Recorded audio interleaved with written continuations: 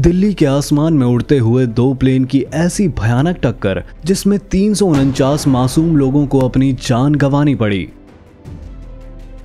मौत के खौफनाक मंजर की ऐसी तस्वीर, जिसे दिल्ली के लोग मरते दम तक नहीं भूल पाएँगे। इतिहास में जब कभी हवाई दुर्घटनाओं की बात होगी तो चरखी दादरी में हुए दो प्लेन की टक्कर सबसे भयानक हादसे के रूप में सामने आएगी।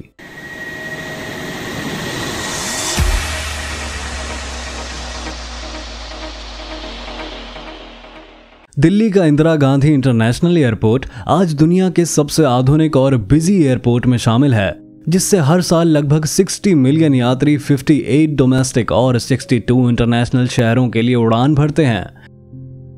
एक अनुमान के मुताबिक, साल 2030 तक हर साल लगभग 100 मिलियन यात्री दिल्ली एयरपोर्ट से यात्रा करेंगे। लेकिन 1990 के दशक में दिल्ली एयरपोर्ट टेक्नोलॉजी और सुविधाओं के हिसाब से इतना विकसित नहीं था। हालाँकि उस वक्त भी आधे से ज़्यादा भारतीय इंटरनेशनल उड़ान के लिए उसी एयरपोर्ट का इस्तेमाल करते थे, जिसके कारण दिल्ली का एयर स्पेस काफ़ी बिज़ी रहता था। 2010 में अपने आधुनिकरण से पहले दिल्ली एयरपोर्ट का काफ़ी बड़ा हिस्सा इंडियन एयरफोर्स के लिए रिज़र्व था, जिस कारण से एयरपोर्ट पर फ़्लाइट के आने और जाने के लिए केवल एक ही एयरवे उपलब्ध था। आमतौर पर इस तरह के बिज़ी एयरपोर्ट पर आने और जाने के लिए अलग अलग एयरवे होते हैं, जिसके कारण फ़्लाइट को मैनेज करना काफ़ी आसान होता है। इसके अलावा उस वक्त दिल्ली एयरपोर्ट पर केवल एक ही रेडार उपलब्ध था जिसका मुख्य मकसद एयरपोर्ट पर फ़्लाइट की ट्रैफ़िक को कंट्रोल करना था। आमतौर पर बड़े एयरपोर्ट्स पर दो रेडार होते हैं। पहले रेडार से फ़्लाइट ट्रैकिंग और कंट्रोल किया जाता है। वहीं दूसरे रेडार को आने और जाने वाली फ्लाइट्स की हाइट और स्पीड वगैरह जानने के लिए काम में लिया जाता है। यही दोनों कारण हमारी आज की केस स्टडी में महत्वपूर्ण भूमिका निभाने वाले हैं। 12 नवंबर उन्नीस दिल्ली का Indira Gandhi international airport. Saudi Arabian Airlines की फ़्लाइट 763 सऊदी अरेबिया के धारन इंटरनेशनल एयरपोर्ट के लिए उड़ान भरने की तैयारी कर रही थी। बोइंग 747 सीरीज़ के इस प्लेन में उस दिन दो सौ नवासी पैसेंजर्स के साथ 23 क्रू मेंबर्स भी सवार थे। उस दिन इस फ़्लाइट का नेतृत्व 45 वर्षीय कप्तान खालिद अल शुबैली कर रहे थे। जिनका साथ फ़र्स्ट ऑफिसर नाजिर खान और फ़्लाइट इंजीनियर अहमद एड्रीस दे रहे थे। उस दिन फ़्लाइट में सफ़र करने वाले ज़्यादातर लोग सऊदी में काम करने वाले वर्कर्स थे, जिसमें से ज़्यादातर लोग हिंदुस्तानी और कुछ नेपाली नागरिक भी थे। वैसे तो ये एक नॉर्मल उड़ान थी, लेकिन उस दिन इस फ़्लाइट में सफ़र करने वाले यात्रियों की नागरिकता को लेकर इमिग्रेशन डिपार्टमेंट में कुछ असमंजस के हालात बने हुए थे, जिसके कारण फ़्लाइट के डिपार्चर में कुछ देरी भी हो रही थी। शाम के लगभग छह बजकर बीस मिनट पर सऊदी अरेबियन फ़्लाइट ने अपना रोल ऑफ़ प्रोसेस किया और टैक्सी वे होते हुए फ़्लाइट रनवे पर आ गई। कंट्रोल टावर से परमिशन मिलने के बाद लगभग छह बजकर तीस मिनट पर फ़्लाइट ने दिल्ली एयरपोर्ट से टेक ऑफ़ किया। अपने निर्धारित फ़्लाइट रूट को फॉलो करते हुए सऊदी अरेबियन फ़्लाइट ने मिडिल ईस्ट जाने के लिए वेस्ट डायरेक्शन में अपना क्लाइंब शुरू कर दिया। उस दिन दिल्ली एयर स्पेस में आने और जाने वाली फ्लाइट्स को 42 वर्षीय controller we K Dutta guide कर रहे थे। 1980 में एयर ट्रैफ़िक कंट्रोलर के तौर पर ज्वाइन करने के बाद दत्ता ने अपने करियर में काफ़ी उपलब्धियाँ और प्रमोशन हासिल किए थे। एक बिज़ी एयर स्पेस होने के बावजूद कंट्रोलर दत्ता काफ़ी सूझबूझ के साथ सऊदी अरेबियन फ़्लाइट को गाइड कर रहे थे। जैसा कि हम पहले ही जान चुके हैं, उन दिनों दिल्ली एयरपोर्ट पर आने जाने वाली फ़्लाइट के लिए केवल एक ही एयरवे था। जी 452 के नाम से निर्धारित ये एयरवे दिल्ली एयरपोर्ट से चरखी दादरी होते हुए वेस्ट साइड में जाता था और आने और जाने वाली सभी फ्लाइट्स सिर्फ़ इसी रूट का इस्तेमाल करती थी। हालाँकि किसी भी तरह की एयर कोलाइजन से बचने के लिए इस एयरवे से गुजरने वाली हर फ़्लाइट के बीच कम से कम हज़ार मीटर का हाइट डिस्टेंस अनिवार्य था। कंट्रोलर वी के दत्ता जब सऊदी अरेबियन फ़्लाइट को गाइड कर रहे थे, ठीक उसी वक्त Kazakhstan airline flight 1907 Delhi airport पर लैंड करने के लिए आ रही थी। U N seven six four three five नाम से रजिस्टर ये फ़्लाइट 27 पैसेंजर्स और 10 क्रू मेंबर्स के साथ कजाकिस्तान के चिमकैंट एयरपोर्ट से उड़कर दिल्ली आ रही थी। ये एक चार्टेड फ़्लाइट थी, जिसमें यात्रा करने वाले ज़्यादातर पैसेंजर्स कजाकिस्तान नागरिकता वाले रशियन थे, जो शॉपिंग करने के लिए दिल्ली आ रहे थे।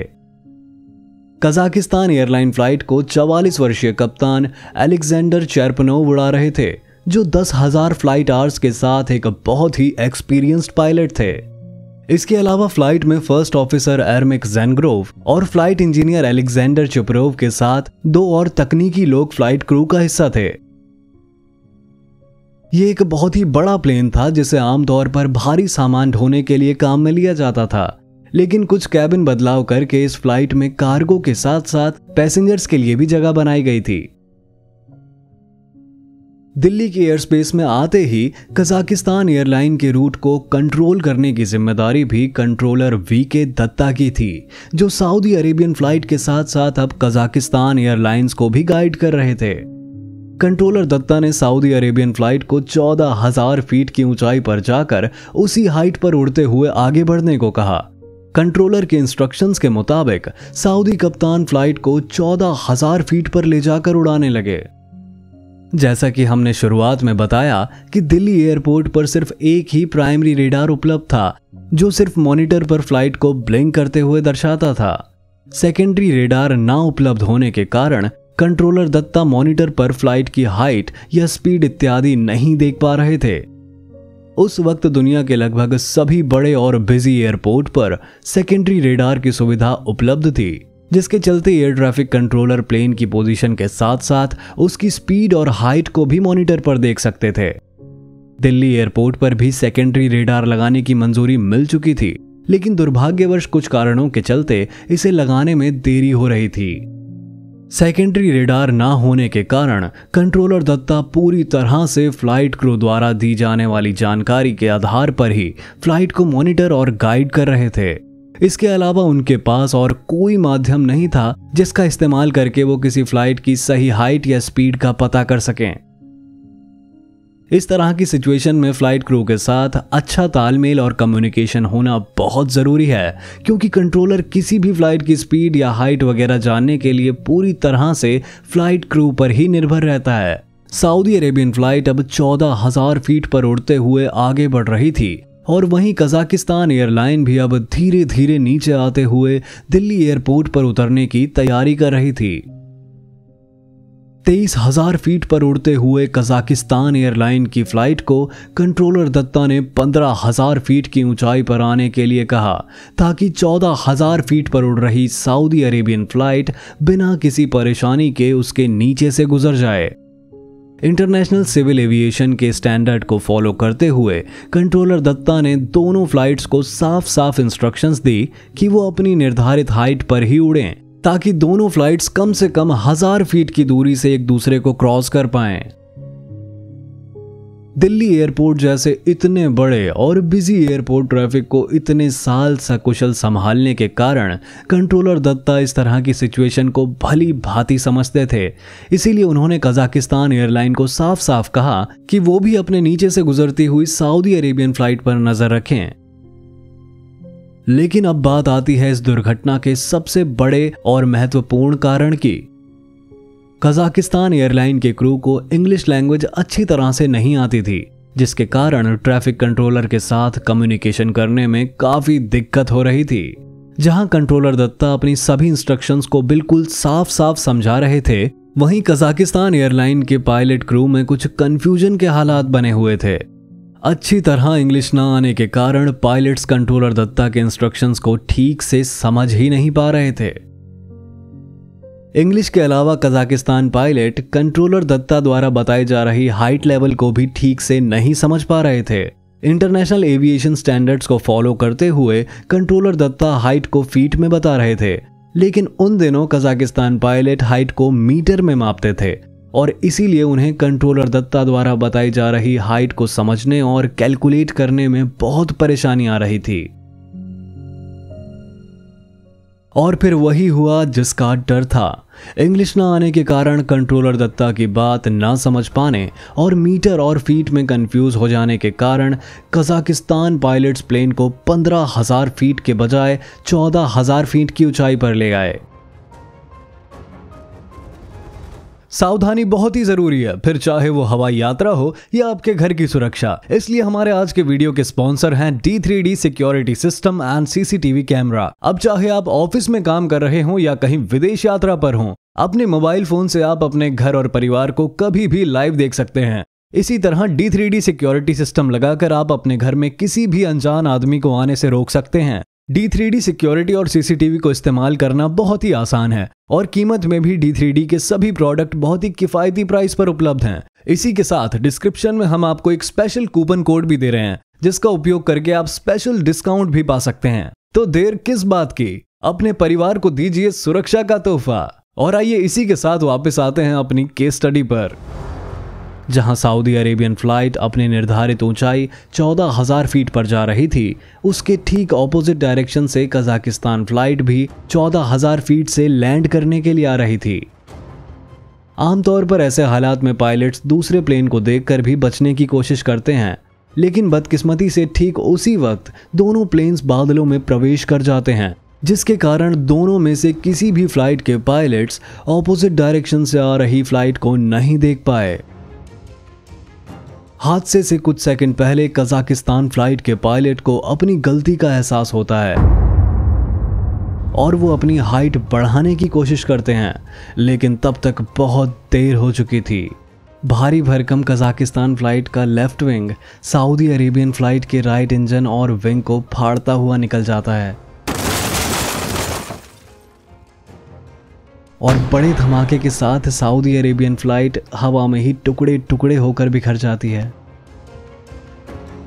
वहीं कजाकिस्तान फ़्लाइट भी थोड़ा और आगे जाकर क्रैश हो जाती है।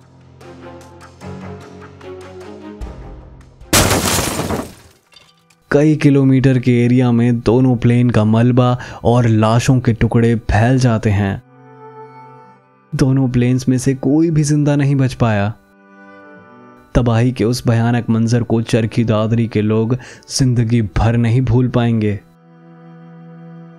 इन सबसे अनजान कंट्रोलर दत्ता अपने मॉनिटर पर पास आती दोनों फ्लाइट्स के डॉट्स को देख रहे थे और मान रहे थे कि आपस में मिलने के बाद ये दोनों फ़्लाइट डॉट्स फिर से अलग अलग होकर दूर चली जाएँगी। लेकिन तभी अचानक दोनों फ़्लाइट डॉट्स मीटर से गायब हो जाती हैं।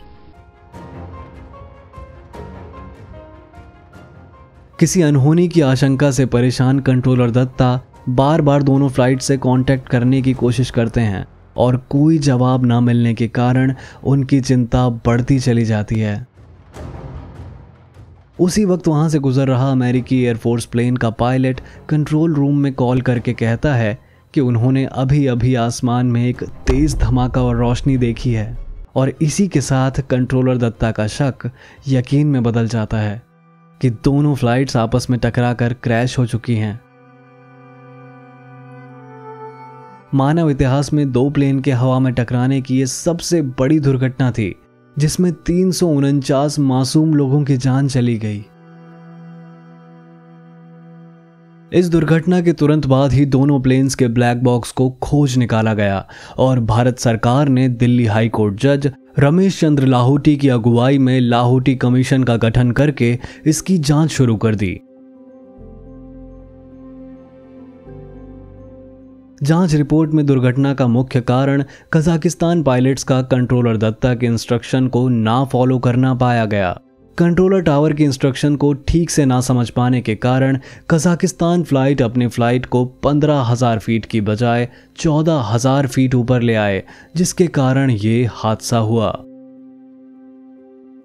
ये हादसा इतना बड़ा और दुखद था कि इसकी जाँच के तुरंत बाद directorate general of civil aviation ने फ़्लाइट सेफ्टी को मज़बूत करने के लिए कई महत्वपूर्ण नियम बनाए। दिल्ली आने जाने वाली सभी फ्लाइट्स के लिए टीसीएएस सिस्टम को अनिवार्य कर दिया गया। टीसीएएस एक ऐसा सिस्टम है जो दो प्लेन्स को हवा में एक दूसरे से टकराने से बचाता है। प्लेन्स की हाइट और स्पीड का सही सही पता लगाने के लिए दिल्ली एयरपोर्ट पर सेकेंडरी रेडार को भी लगाया गया। इसके अलावा आने और जाने वाली फ्लाइट्स के लिए दिल्ली एयरपोर्ट पर दो अलग अलग एयरवेज बनाए गए ताकि प्लेन सुरक्षित गुजर सकें। और इस तरह की दुर्घटनाओं को रोका जा सके।